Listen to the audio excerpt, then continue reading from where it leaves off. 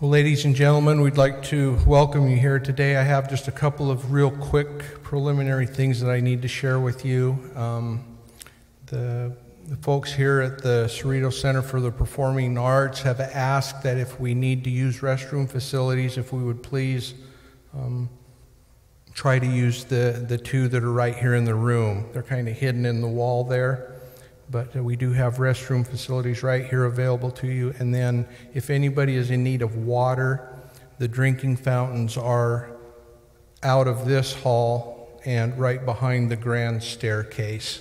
You can't miss it, it's out there in the foyer. We'd like to welcome you all here today to the Sierra Room of this beautiful Cerritos Center for the Performing Arts. We're we're happy that you've decided to be here with us today. We've gathered here together in commemoration of the 500th anniversary of the Christian Reformation. And we're glad to have with us tonight to give this evening's talk Mr. Denver Snuffer Jr. Professionally, Mr. Snuffer received his law degree from the J. Reuben Clark Law School at Brigham Young University, in, and that was in the year 1980. He has practiced law for 36 years, and Mr. Snuffer is also a founding partner of the law firm Nelson Snuffer, Dahle, and Poulsen, which is located in Sandy, Utah. Raised as a Baptist, Denver was converted and baptized into the Church of Jesus Christ of Latter day Saints in 1973 at the age of 19 while he was serving in the U.S. Armed Forces. He was an active member of the LDS Church for 40 years before his excommunication in September 2013 on the 40th anniversary of his original baptismal date. He was excommunicated for refusing to remove from publication a book he had authored on LDS history entitled Passing the Heavenly Gift. Now, I must make it perfectly clear, ladies and gentlemen, that the talks that are being given this year by Mr. Snuffer are not an attempt to influence listeners to become members of the Salt Lake City based church or of any other denomination. It is hoped that every individual who hears these talks will follow Christ and serve wherever they find an acceptable fellowship with others. Whether you are a loyal member of a specific denomination, or a freelance Christian without denominational affiliation, the three talks that will be given will provide information about Christianity, which is designed to give you a greater reason to believe in Christ. The talks may also give you a greater reason to try to understand other Christians whose beliefs reckon from very different traditions than your own. It is our hope that Christians everywhere may, as the Apostle Paul admonished the Romans, with one mind and one mouth glorify God, even the Father of our Lord Jesus Christ.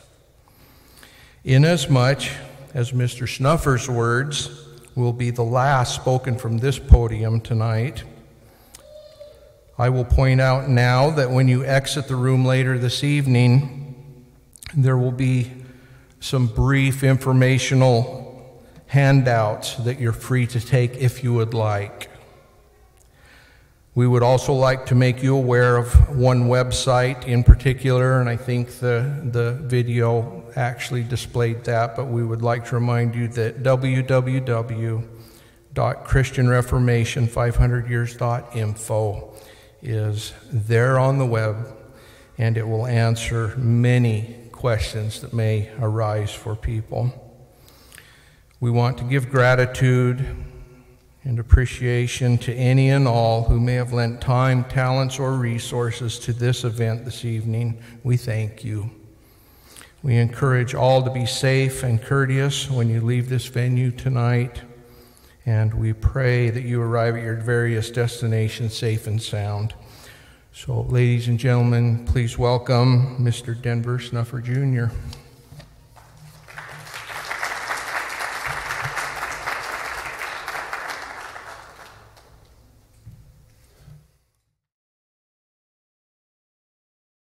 I want to uh, thank all of those who have volunteered and assisted in getting this event set up. The, um, the venue rented and the, um, the venue paid for, and this evening organized. Everything we do is done voluntarily and without compensation. Um, we do not have an organization that gathers funds and makes it possible to purchase events like this. Everything that is done, including the online live video broadcast over the internet this evening, is being done by volunteers who are taking the time to use their own resources to make this possible. We believe that sacrifice is necessary if a person's to have faith. You can believe a lot of things, but if you're going to have faith, it's the order of heaven that you have to make sacrifice to demonstrate your faith. All the videos that were shown are on the Christian Reformation 500 Years uh, website and also are available on YouTube and can be watched at any time. It's my hope that this evening I'll give you a greater reason to have belief in Christ and have confidence in your belief in Christ.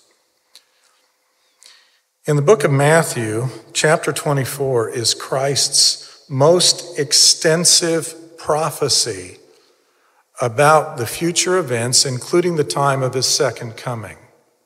While he gives some details in Matthew chapter 24, there's a statement that he makes about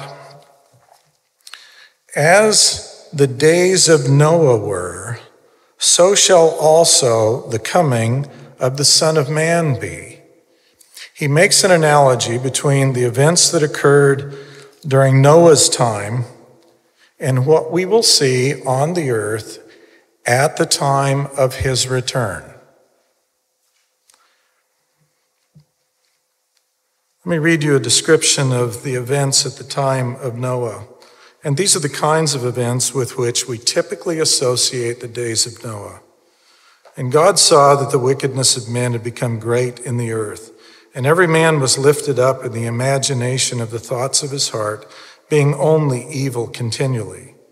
The earth was corrupt before God, and it was filled with violence. And God looked upon the earth, and behold, it was corrupt for all flesh had corrupted its way upon the earth. And God said unto Noah, The end of all flesh is come before me, for the earth is filled with violence. And behold, I will destroy all flesh from off the earth. Ominous, terrible, reason for concern. And that's what we generally think of. But there's another side to that. That other side includes, obviously, Noah. You can't have the days of Noah without having a Noah. Another contemporary who lived at the same time with Noah was Enoch, who built the city of righteousness, where people gathered together to worship the only true God, who were then in turn taken up to heaven. That group of people taken up to heaven are going to return with the Lord when he comes again in glory. Book of Jude, there's only one chapter in there. Enoch also, the seventh from Adam, prophesied of these things, saying, Behold, the Lord cometh with ten thousands of his saints. There were those that were taken up into the heavens, numbering in the tens of thousands, who will return with him. So if there is reason for pessimism when Christ predicts that as it was in the days of Noah, so shall it be at the time of his return, there's also extraordinary reason for optimism because we're going to see things like Noah and his family that included Shem, who would be renamed Melchizedek, about whom the Apostle Paul had a great deal to say in the book of Hebrews, comparing that man, a son of Noah, to the Lord himself. Actually, we ought to flip that. He compares the Lord himself to that man.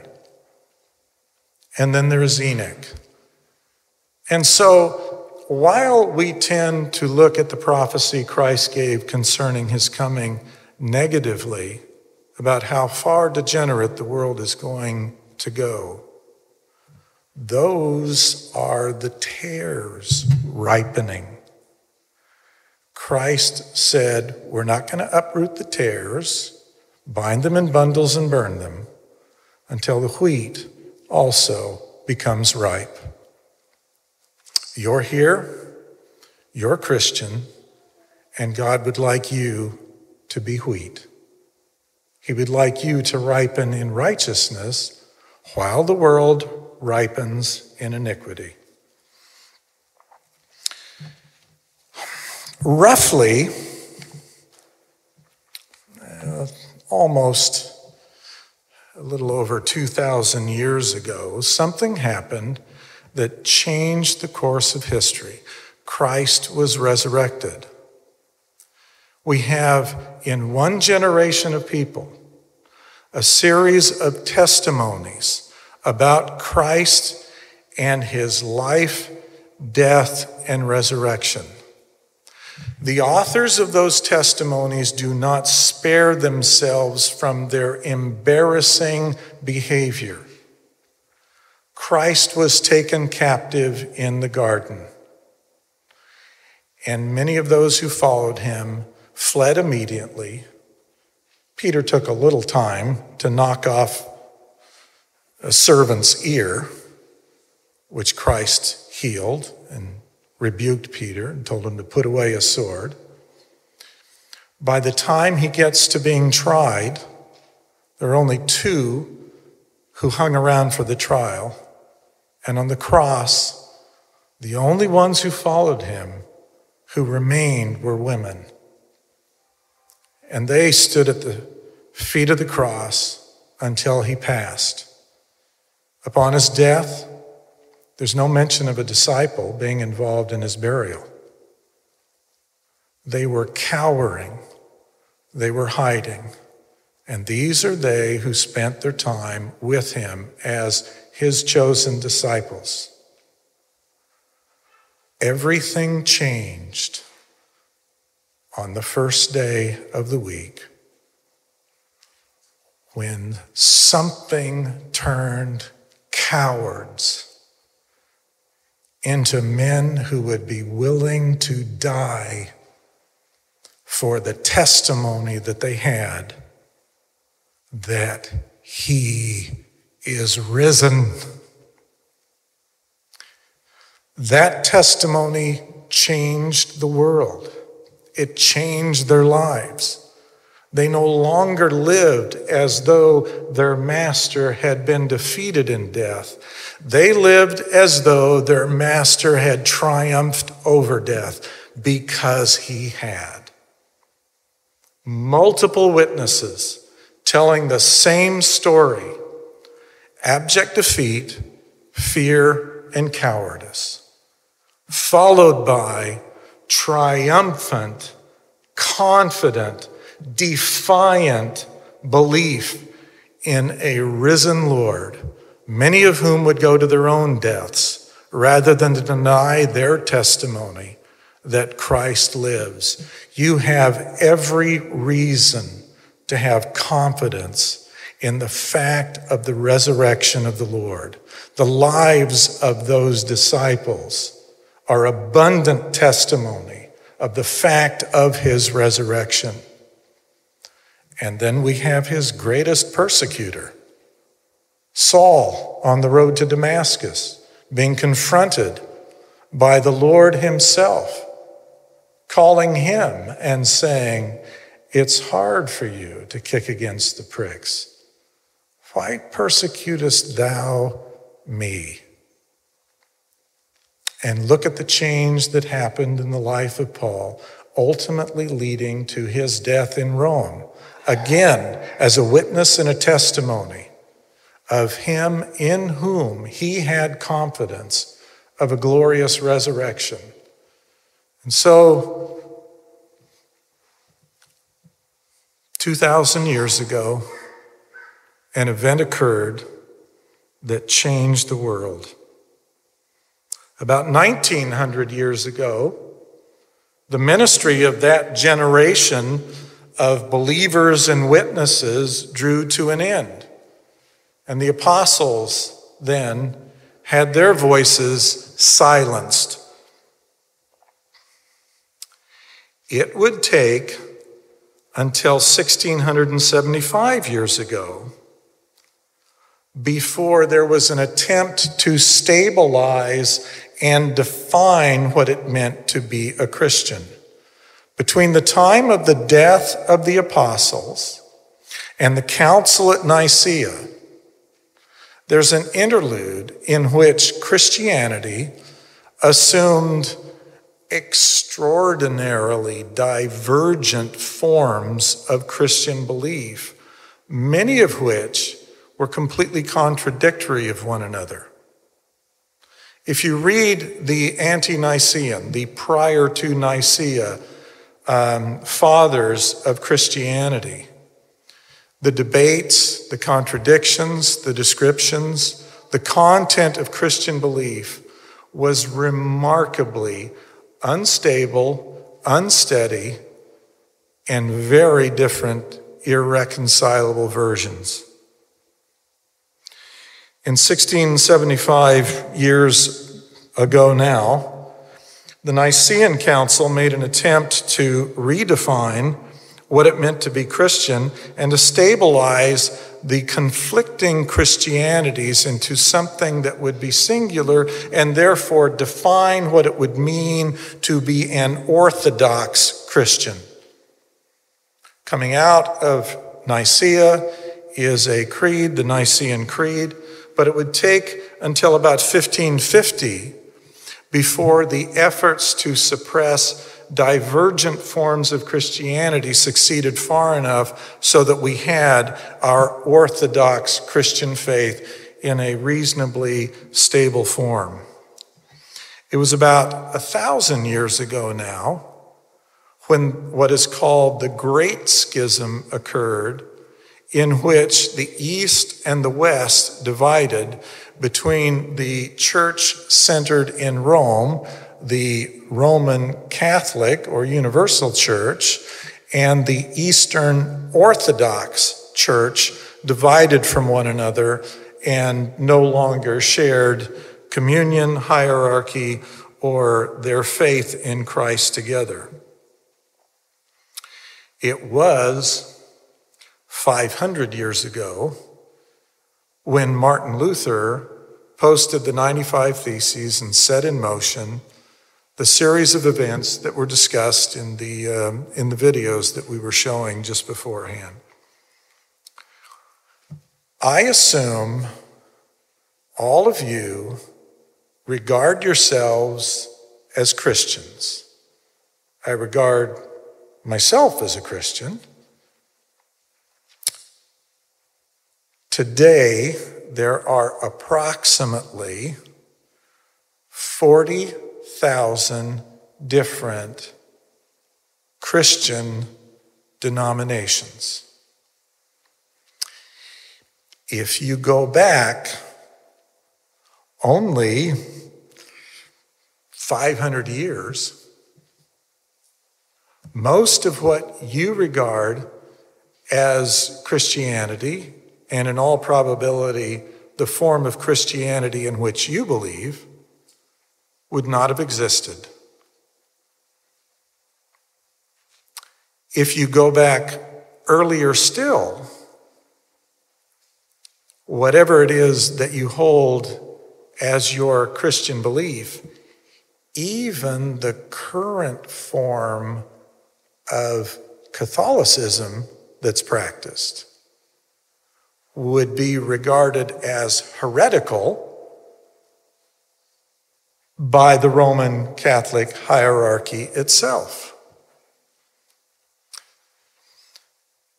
Only 500 years ago, the only authorized forms of the Bible were printed in Latin, and they were the exclusive property of a Catholic clergy that taught in Latin, a group of people who were told what to do and how to regard Christianity. Unfortunately, for almost every one of us, the form of Christianity that we hold in our hearts and that we look to in faith, believing that it has the power to save us, would be regarded throughout almost all of Christian, history as heresy, as false, as damnable.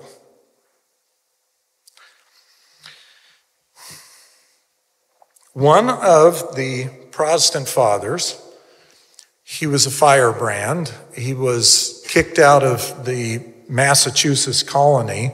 He was considered dangerous, as dangerous in the Massachusetts setting as Martin Luther was considered dangerous in um, Roman Catholic Germany, was uh, Roger Williams. Roger Williams is actually the one who founded the First Baptist Church. It was mentioned that I was raised as a, uh, well, within a Baptist family. Um, I made a, I made an attempt to get baptized.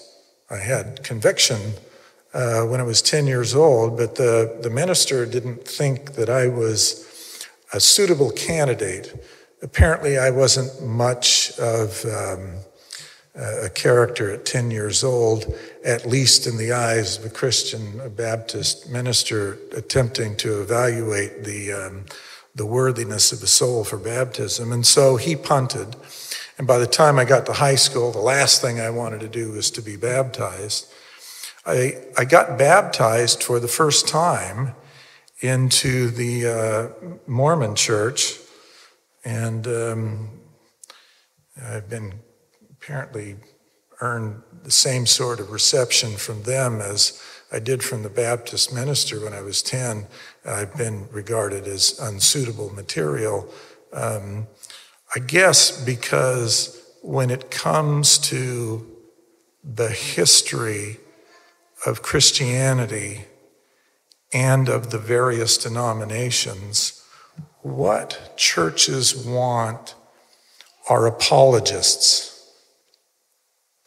They want people to defend whatever it is they're doing, however aberrant, however unjustifiable, however flimsy the basis upon which what they teach is grounded.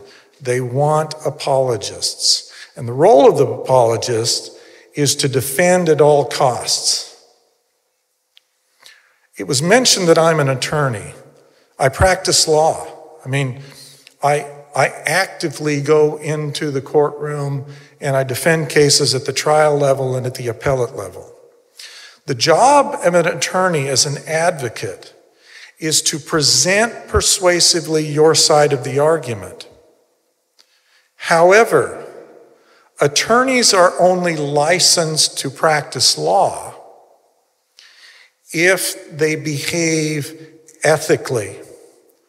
One of the ethics that is binding upon an attorney is if the court poses a question to you that exposes a weakness in your position or a fact that you dislike because it harms your position ethically you are obligated to disclose honestly, forthrightly to the court the true answer to the question that is put to you.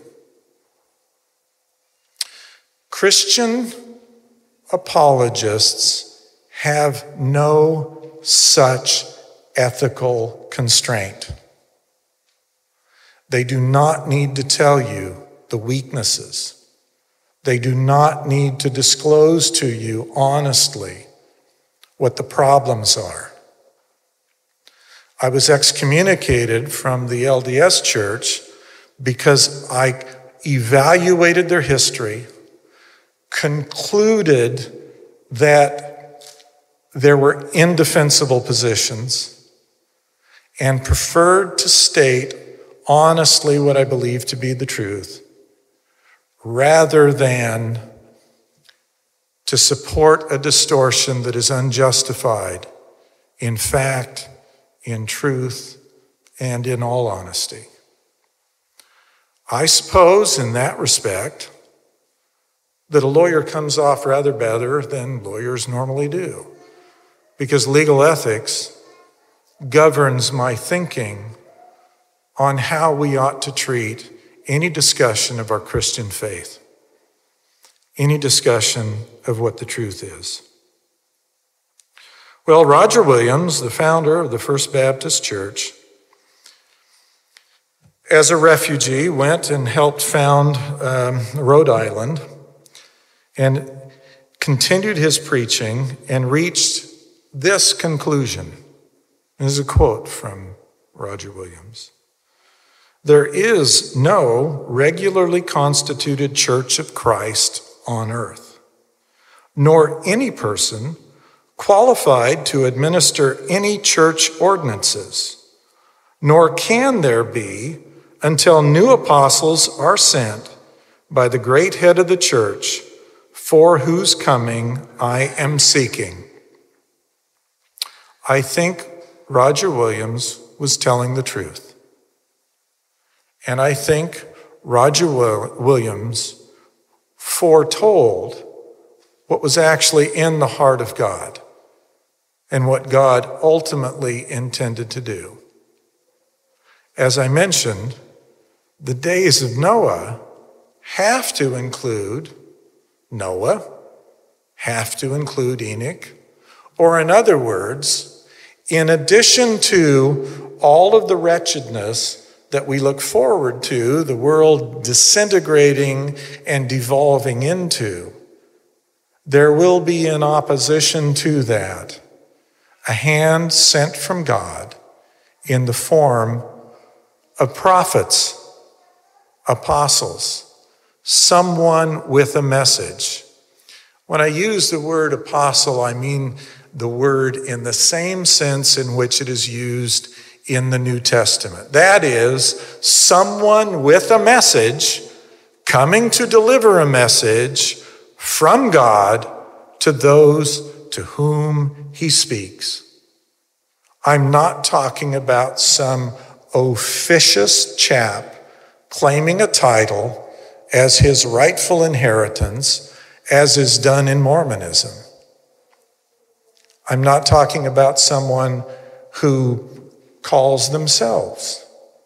I'm talking about someone to whom God speaks and says, Go tell the people thus. I think there has been one such man who came about 200 years ago. His life was brief. After 38 and a half years, he was slain largely because of the conspiracy of followers. Shortly before his death, he said to those who were among his followers, You don't know me, you never knew my heart. They would conspire to kill him after they had conspired to put him in jail, and they use his name now as if invoking it gave them the same kind of moral authority that a man who gave up his life, a man who suffered in prison, had as moral authority in following and sacrificing to obey God. The man about whom I'm speaking is Joseph Smith, and I would ask you to please not associate that name with the Mormon church, but to allow him to stand on his own and to consider what he had to say independent of what they say he said. There are remarkable similarities between the struggle from 1900 years ago until 1550 years ago in the Christian tradition, before it adopted a settled, although corrupted, form, and the last 160 years of Mormonism following the death of Joseph Smith. Christians could profit from the study of the more recent events involving Joseph Smith to gain insight into the earlier the earlier Christian experience. The Apostle Paul asked questions of critical importance to Christians immediately after his declaration that says this Whosoever shall call upon the name of the Lord shall be saved. That's in Romans 10 13. Immediately following that, he poses this series of questions. He does that in order to demonstrate to the satisfaction of anyone who comes across this material that they can have confidence in him, in what he's saying, and in what source he draws his information and his inspiration from. The overwhelming majority of Protestant Christians believe and rely on this statement Whosoever shall call upon the name of the Lord shall be saved. But what of the critically important questions he then asks? How then shall they call on him in whom they have not believed? And how shall they believe in him of whom they have not heard? And how shall they hear without a preacher? And how shall they preach except they be sent? There's a difference between belief and unbelief.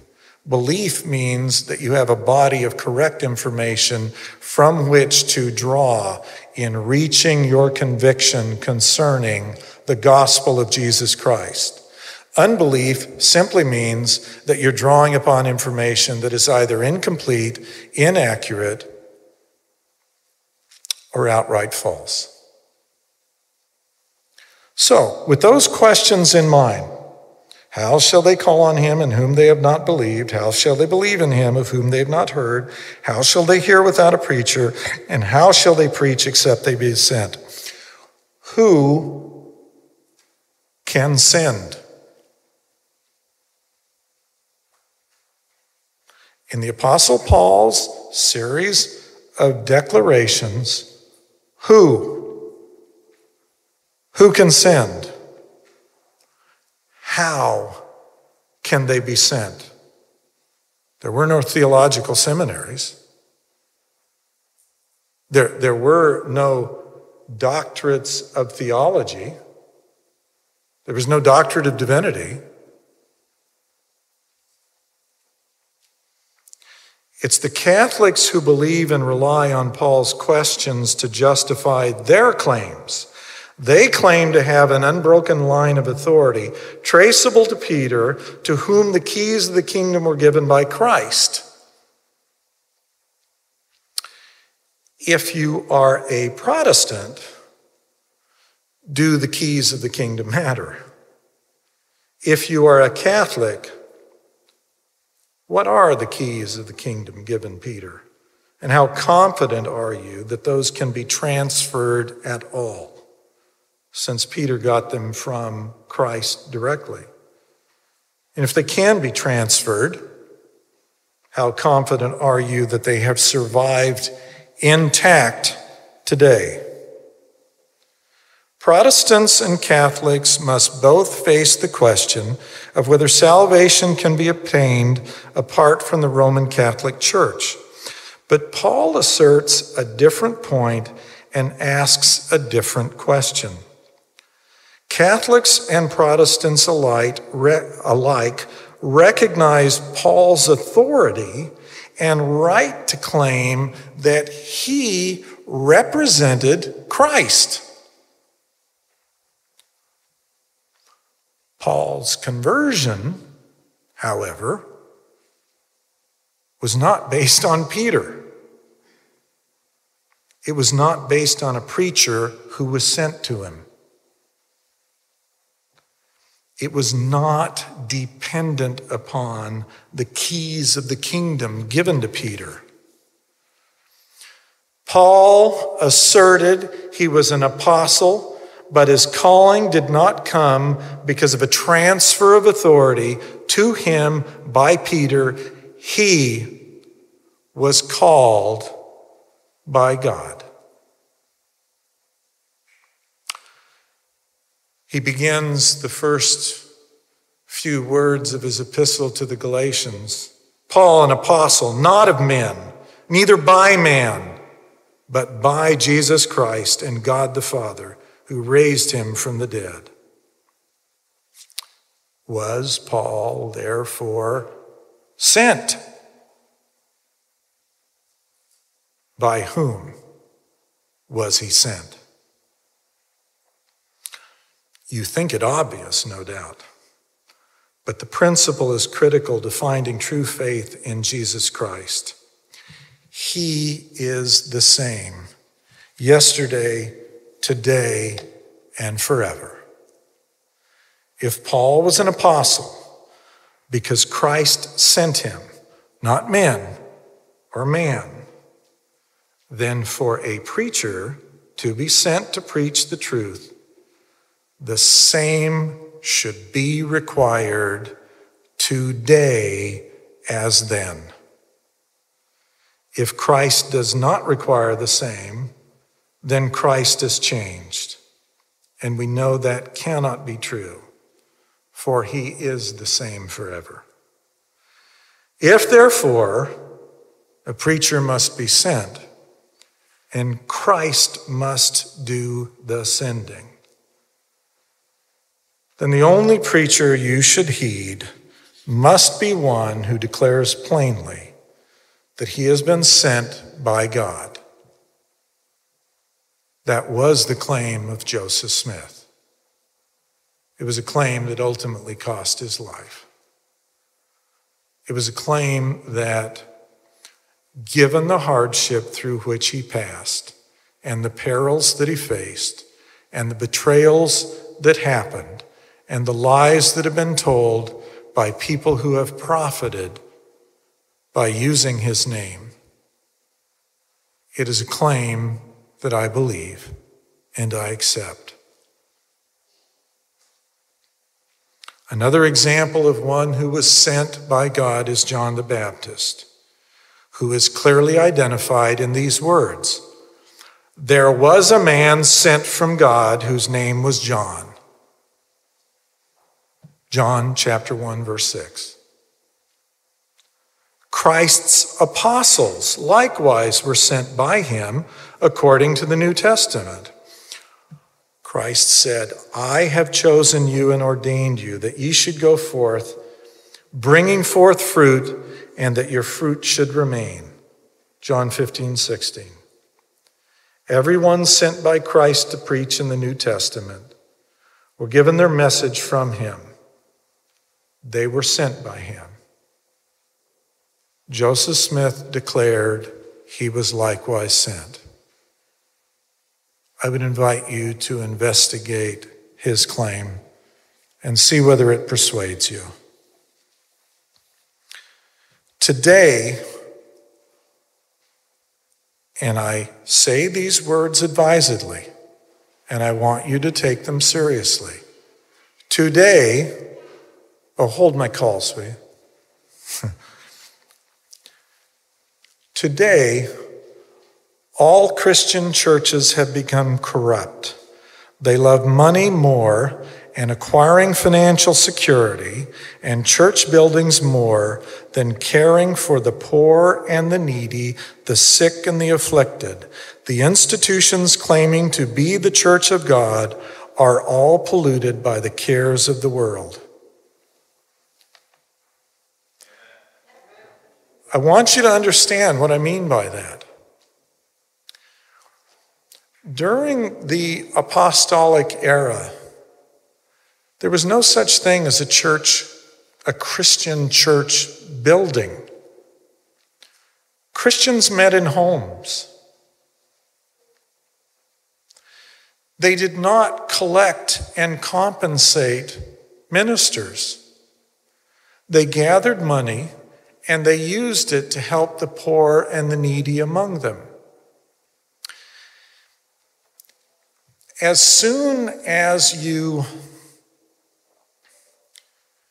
as soon as you get a church building, I regret to inform you, you'll have to hire a lawyer. In what name are you going to take title to your building? How are you going to hide title or hold title and deal with succession? What form will the organization take? Do you intend to qualify for tax deductibility?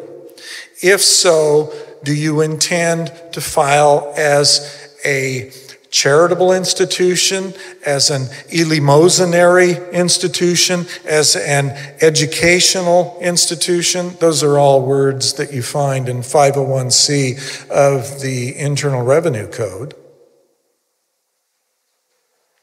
And what do you do if you want to hire and fire a minister and you want to dispossess the one you fired and put into possession the successor in the building, what rights and who's on the board and who possesses the right to deal with that as soon as you own property.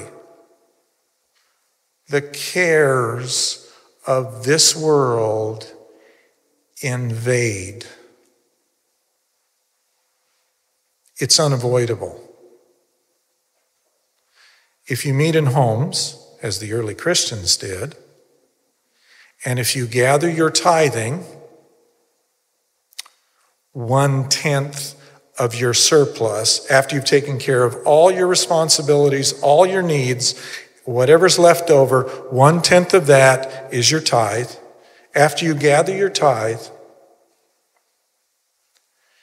then you ought to look at your brothers and your sisters who are there in your meeting and you ought to help those who have needs, who have health needs, who have education needs, who have transportation needs, who have food needs, who have children that need care.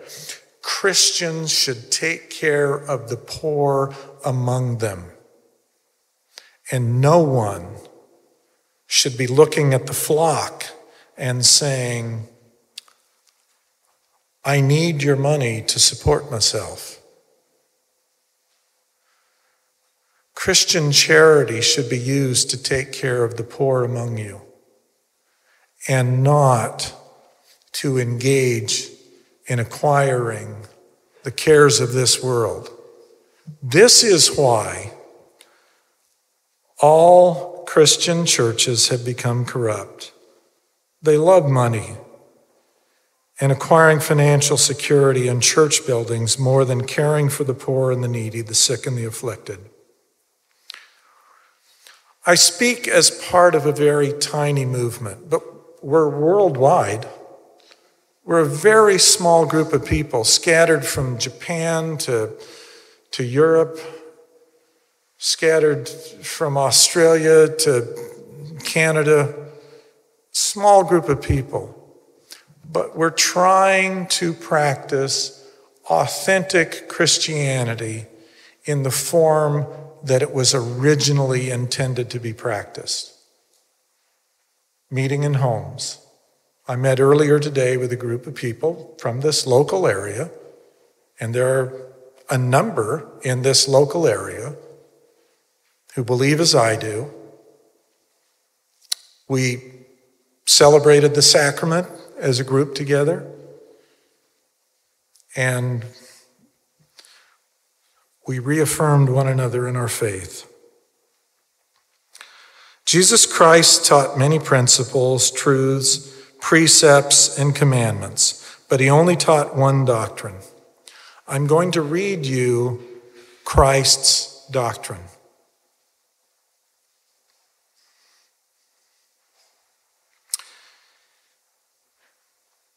Behold, verily, verily, I say unto you, I will declare unto you my doctrine. And this is my doctrine, and it is the doctrine which the Father hath given unto me. And I bear record of the Father, and the Father beareth record of me, and the Holy Ghost beareth record of the Father and me. And I bear record that the Father commandeth all men everywhere to repent and believe in me. And whoso believeth in me, and is baptized, the same shall be saved. And they are they who shall inherit the kingdom of God.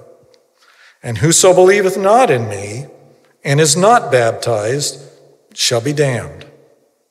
Verily, verily, I say unto you that this is my doctrine and I bear record of it from the Father. And whoso believeth in me believeth in the Father also. And unto him will the Father bear record of me, for he will visit him with fire and the Holy Ghost.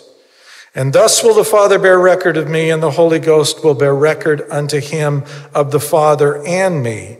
For the Father and I and the Holy Ghost are one. And again I say unto you, you must repent and become as a little child and be baptized in my name, or ye can in no wise receive these things.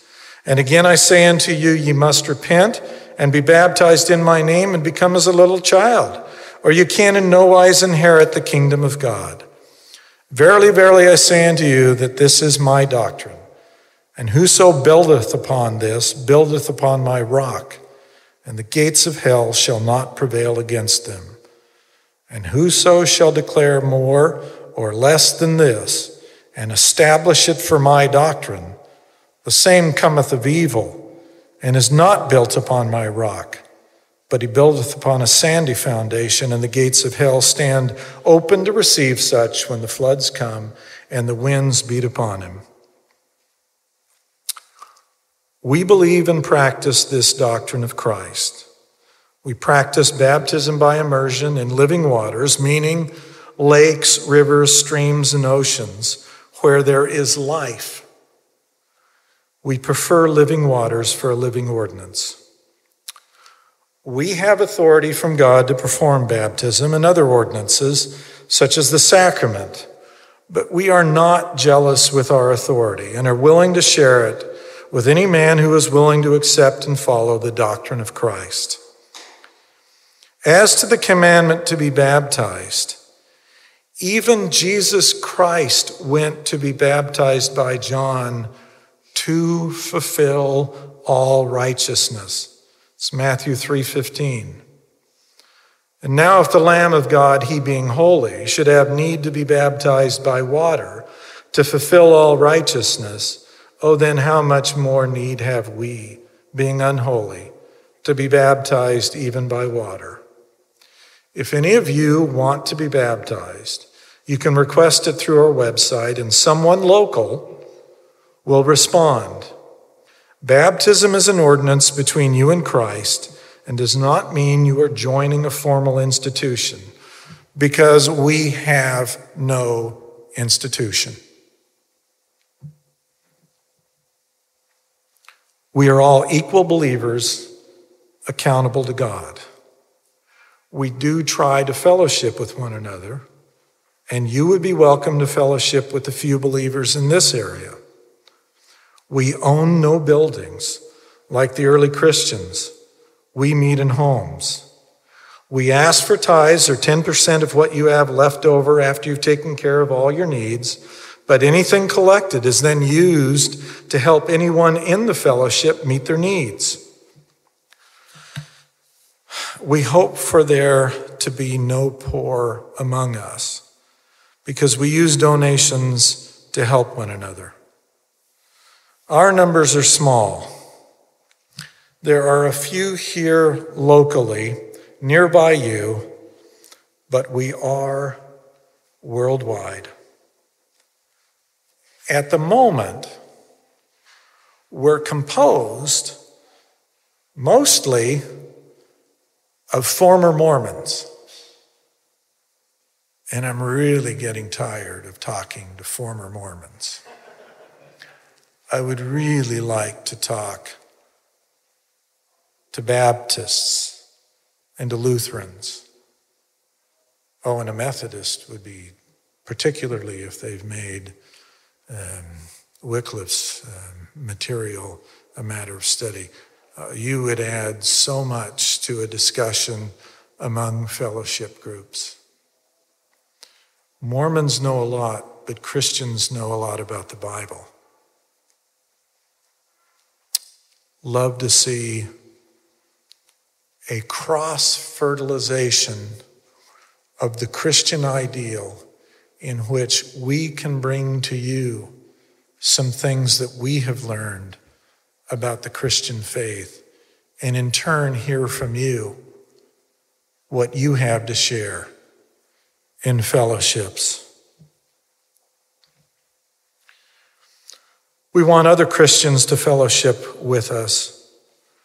The only thing we have to offer is Christian worship to share. We accept the Book of Mormon but not as a book that belongs to the Mormon church or the Mormon hierarchy. We view it as a testimony of Jesus Christ. I'd invite you to read it. You don't need to go buy a copy from a Mormon. You don't need to go get one from one of us. You can go to Barnes and Noble. The copyright has expired. It is now one of the Penguin classics. If you feel a little self conscious about buying a Penguin Classic Book of Mormon, then get The Adventures of Huckleberry Finn and War and Peace and the Book of Mormon, and you'll look like some eclectic reader. and you needn't face the shame, the awful shame of buying a Book of Mormon. Well, you can get it on Amazon. You can do that privately. Yeah. See, my wife shops for Christmas. I don't. Uh, if I want something from Amazon, she fetches it. What do I know about shopping online? Okay. I believe if you read the Book of Mormon and you give it a fair shot, not, not with the Mormon missionary, you know, coming back every few days on your door with their name tag and pressuring you, rooting for you to come aboard, come aboard you know, we, we really want you within our clutches dispassionately, at your leisure, contemplating it, mulling it over. The Book of Mormon confirms that Christ was resurrected. It confirms that he had other sheep that he mentions in the Gospel of John, to whom he said he intended to go minister. It confirms that there were scattered bodies of believers throughout the world. It confirms that Jesus Christ is the same Lord yesterday, today, and forever. It confirms that Jesus Christ is a keeper of covenants. If Christ cared enough to speak to others in times past, does he not care enough likewise to speak to us? Can he not speak in our day? Let me read you a few lines presented as part of the very closing of the Book of Mormon. Wherefore, my beloved brethren, have miracles ceased because Christ hath ascended into heaven and hath sat down on the right hand of God to claim the Father of the Father his rights of mercy which he hath upon the children of men. For he hath answered the ends of the law, and he claimeth all those who have faith in him.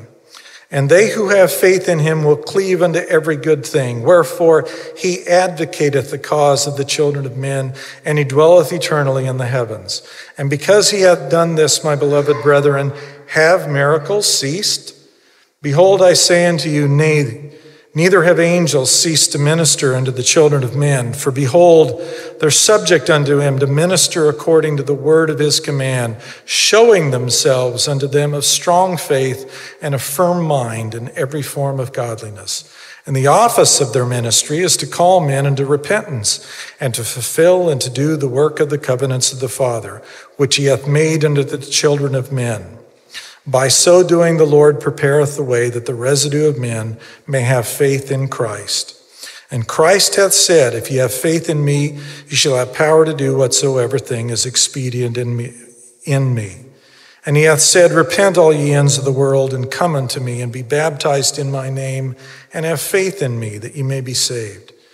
And now, my beloved brethren, if this be the case, that these things are true which I have spoken unto you, and God will show unto you with power and great glory at the last day that they are true.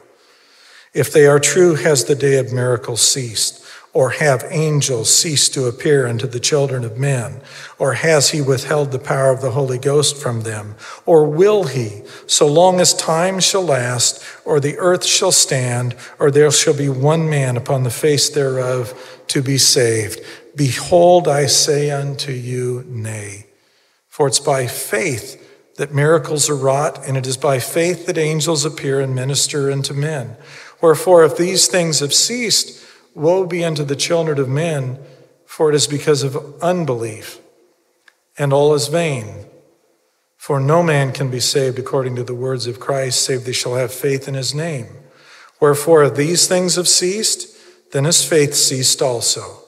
And awful is the state of man, for it is as though there had been no redemption made. We believe we are approaching a moment in which the Lord is about to return. Read that chapter, Matthew 24. All of the signs that he speaks of will occur in one single generation. If you've not noticed, the signs have begun to appear. It means you're living within a generation in which a great deal is to occur. As it was in the days of Noah, so is it about to be. That means dreadful things are coming on the one hand, and it means prophets are going to be among us again. People with messages that come from the Lord. I'm not here on my own volition. I've not done anything that I've done throughout the last number of years on my own volition. I do what I do, I preach what I preach, I testify to what I testify to, because, like Paul, I've been sent. I would rather understate than overstate the case. But let me end by telling you Christ lives. He died and he was resurrected. I know this to be true because, like Paul, I have seen him. I don't tell you that to make this seem sensational. I tell you that to give you cause to believe in him. He is real. Encountering him as a resurrected being changed the course of history. It turned cowards into courageous, willing, and enthusiastic witnesses who faced down the Roman Empire to their death. They died willingly. They died as evidence of the truth that they were testifying to. That kind of faith needs to return again to the earth. That kind of faith is possible again in our day. Christianity has taken so many turns and so many different forms from the death of the apostles until now. That however you may regard yourself to be a Christian. What every one of us needs is for heaven itself to reaffirm to us what it is that heaven would like us as Christians to be and to do. I mentioned that Christ gave many commandments, precepts, teachings. He also gave a law. His law can be found in Matthew chapters 5, 6, and 7. That is how you and I should practice our Christianity. Thank you for coming this evening. Thank you for listening. This has been streamed live over the internet. It will be available uh, in an improved form in which graphics are going to be inserted in a uh, couple, three weeks. I'm going to be speaking in Dallas, Texas, and then in Atlanta. All three talks will be different from one another. They're all intended to give you reason to believe in Christ.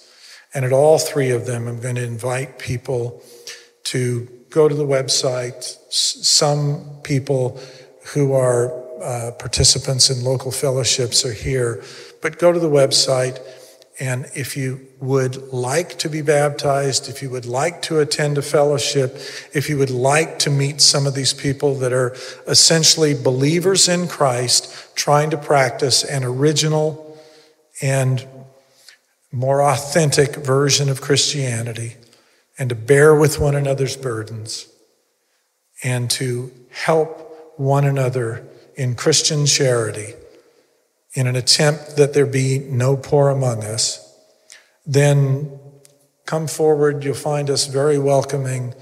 Although there are a number of believers in your area, um, we remain few. But we're undaunted by that, and we intend to address as many as will hear us, including this evening by doing so on the internet so that anyone worldwide who may have an interest can tune in. Thank you all very much for attending this evening. Let me end in the name of Jesus Christ. Amen.